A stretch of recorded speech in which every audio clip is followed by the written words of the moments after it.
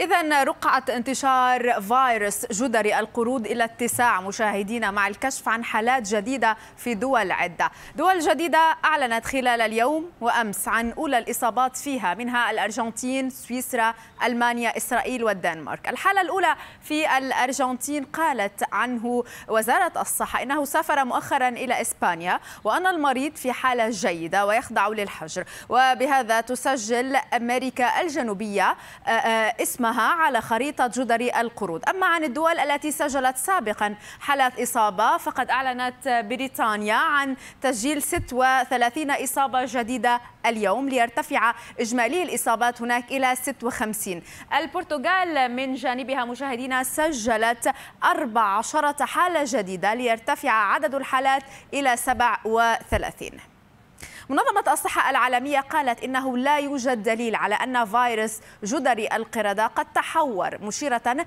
إلى أن المرض المتوطن في غرب ووسط أفريقيا لم يتغير. وأضافت روزا موند لويس مديرة إدارة الجدري ببرنامج الطوارئ بمنظمة الصحة العالمية أن التسلسل الجيني للحالات المصابة سيساعد في التعرف بشكل أفضل على فهم موجة الانتشار الراهنة.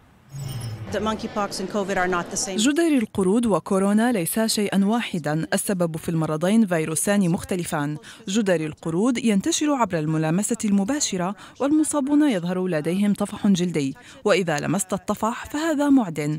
إذا الإصابة تتم عبر الملامسة بشكل رئيسي. منظمة الصحة العالمية أكدت أيضا أنه من الممكن السيطرة على تفشي جدري القرود ووقف انتقال العدوى بين البشر. وقالت المسؤولة عن الأمراض الناشئة لدى المنظمة إن هذا الهدف ممكن في الدول التي لم يتفشى فيها الفيروس وليس متوطنا فيها. Most of the people who have been identified so far have had معظم الناس الذين أصيبوا كانت الأعراض لديهم خفيفة أو يمكن القول إنها غير خطيرة ونحن نعمل الآن على وقف انتشار الفيروس. الموقف يمكن احتوائه تحديدا في الدول التي تشهد انتشارا في أوروبا وأمريكا الشمالية لكن لا يجب أن نتجاهل ما يحدث في أفريقيا.